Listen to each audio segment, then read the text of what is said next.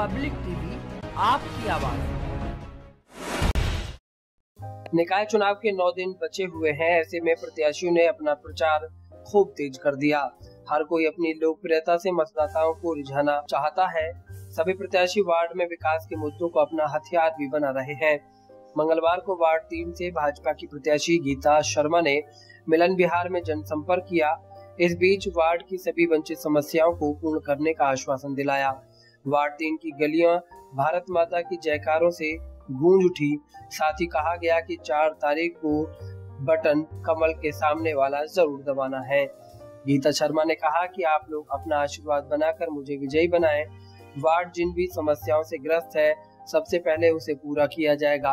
उन्होंने कहा कि हम जो वादा करते हैं, उसे पूरा अवश्य करते हैं। इस अवसर पर सुधांशु कौशिक, आलोक राठौर, हरीश बोरा शक्ति शर्मा, आरती शर्मा, रेणु चौधरी के साथ और भी पदाधिकारी और कार्यकर्ता उपस्थित रहे।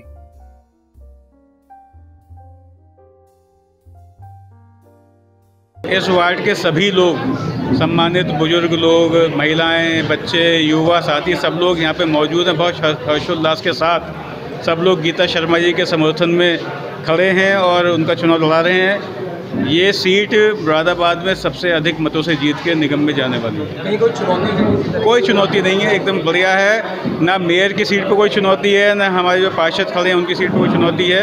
अधिक से अधिक पार्षद इस बार चुन के पहुँचेंगे। पब्लिक टीवी आप